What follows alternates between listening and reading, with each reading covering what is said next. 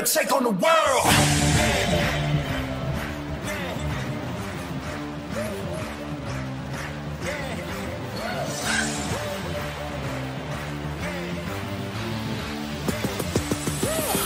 We're gonna take on the world.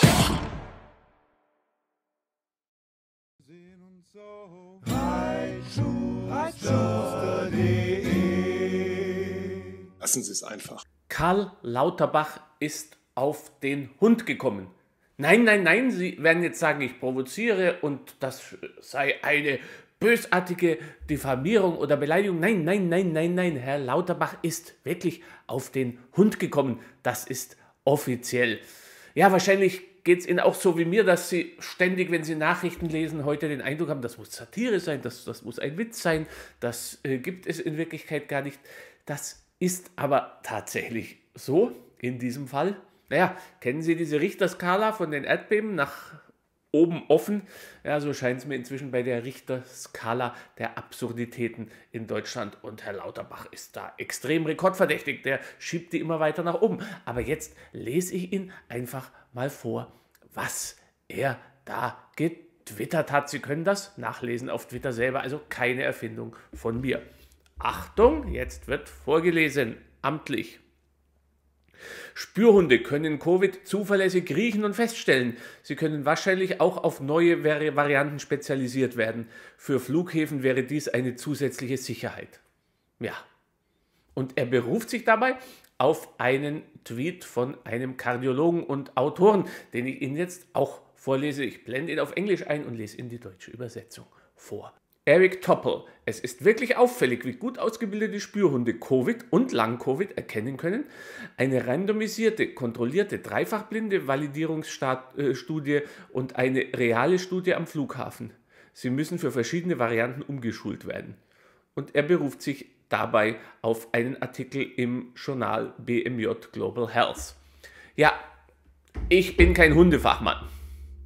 Ich bin auch kein Mediziner. Von daher, also für mich klingt das höchst abstrus, aber ich bin kein Fachmann. Vielleicht ist der Hund, der heutzutage der moderne Hund, in der Lage, Covid zu erschnüffeln. Fragen Sie mich nicht. Die große Frage, die sich mir stellen würde, dann, wie unterscheidet der normale Hund oder der ausgebildete Hund Covid von einem leichten Schnupfen? Aber sei es dahingestellt. Der Irrsinn liegt doch darin, dass inzwischen zivilisierte Länder wie Spanien gesagt haben, Covid behandeln sie wie eine gemeine Grippe. Gemein im doppelten Sinne. Eine Grippe kann ja sehr gemein sein. Und dass auch hierzulande kritische Experten sagen, Covid ist vorbei. Nicht nur Schwurbler, wie man diffamierend Corona-Maßnahmenkritiker wie mich nennt, sondern auch Leute wie der Chef der Kerzenärztlichen Vereinigung, Herr Gassen, der gesagt hat, für die meisten ist Corona vorbei. Also das ist ein Fakt. Und der Herr Lauterbach hat es offenbar wirklich nötig, auf den Hund zu kommen. Das ist phänomenal. Es ist eine Meldung, die einen, die, die einen vor den Kopf stößt, nach der anderen, dass man schon für Dezember, für den Herbst jetzt wieder plant, neue Corona-Maßnahmen mit äh, Triage. Und also ich habe es auf meiner Seite, ich habe es auch im Artikel dazu. Man hat wirklich den Eindruck, der Herr Lauterbach hat vor allem eine große Angst, dass seine Angstmache nicht mehr verfängt und dass die Menschen keine Angst mehr vor Corona haben. Das scheint für ihn die Katastrophe zu sein. Selbst die EU äh, stößt er jetzt vor den Kopf, weil deren Institutionen sagen, keine Masken mehr in Flugzeugen. In Deutschland ist das anders. Auch die Einreiseverordnung. Sie können in normale Länder frei einreisen, ohne jegliche Corona-Dokumente. in Deutschland herrscht Ordnung. Da wird Corona geprüft. Brauchen Sie 3G. Heute habe ich eine Anfrage von der Weltwoche bekommen, der Schweizer Zeitung, die fragten, ob ich einen kurzen Kommentar dazu machen kann, warum in der Welt Corona vorbei ist und nicht in Deutschland. Werde ich schreiben, kommt dann auch auf meiner Seite. German Angst, Politiker wie Lauterbach, die Angst der Politik, Fehler einzugestehen, wie Paul Brandenburg erst kürzlich im Interview hier sagte. Ich glaube, es sind viele Faktoren, aber es ist in meinen Augen absurd. Vielleicht auch eine Liebe zur Ausgrenzung. Ich weiß es nicht, ich kann es Ihnen nicht beantworten. Ich frage mich nur, wie lange kann jemand wie Karl Lauterbach, der in meinen Augen freidreht, der in meinen Augen offenbar die größte Angst davor hat, dass er wieder ein normaler Hinterbänkler wird, wie er das vor Corona war.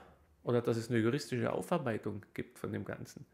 Dass jemand, der selber solche Angst hat und Angst und Panik schürt, dass der immer noch in verantwortlicher Position ist, dass die Medien das mitmachen, dass die Politik das mitmachen, dass die Mehrheit offenbar das mitmacht. Das ist für mich ein Rätsel. Ja, vielleicht können Sie mich aufklären. Schreiben Sie oder schreibt eure Kommentare hier drunter. Ich bin gespannt. Vielen Dank fürs Reinschauen. Alles Gute. Danke. Ciao.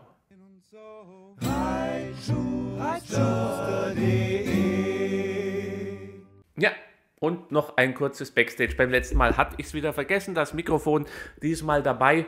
Es gab dann böse Stimmen, die sagten, ja, warum ist der Ton so schlecht? Nochmal Entschuldigung, aber ich bin quasi ein etwas größerer Ein-Mann-Betrieb. Ich bekomme keine Getz-Milliarden, wo dann fünf Tontechniker hinterherlaufen. Darum ist halt nicht alles so fehlerfrei. Und dann vergesse ich auch mal das Mikrofon. Ich entschuldige mich, tut mir leid, der Ton ist dann nicht so gut, aber bitte, bitte etwas Verständnis. Es ist halt schwierig, wenn ihr helfen wollt mit der Technik und dass das gut geht, einfach bei PayPal oder per Überweisung ein bisschen unterstützen. Das ist prima, denn ich kriege keine Millionen für Impfwerbung wie die großen Medien, auch keine GZ-Gebühren, nichts. Ja, und dafür kann ich aber auch ohne jegliche Selbstzensur hier loslegen, auch bei Themen, wo das nicht allen so passt. Aber da schreiben auch ganz viele ganz toll, sogar teilweise, wenn sie unterstützen, bin bei manchen Sachen anderer Meinung, aber umso mehr für Pluralismus, für Meinungsfreiheit. Das ist der richtige Geist. Und solche Zuschriften und solche Unterstützung, die machen mir Mut. Und das sage ich mir, das wird doch noch etwas und die Zensoren und diejenigen, die nur eine Meinung zulassen auf verschiedenen Seiten, die sind doch nicht alleine auf weiter Flur zumindest. Alles Gute, danke, ciao, wieder reinschauen. Tschüss.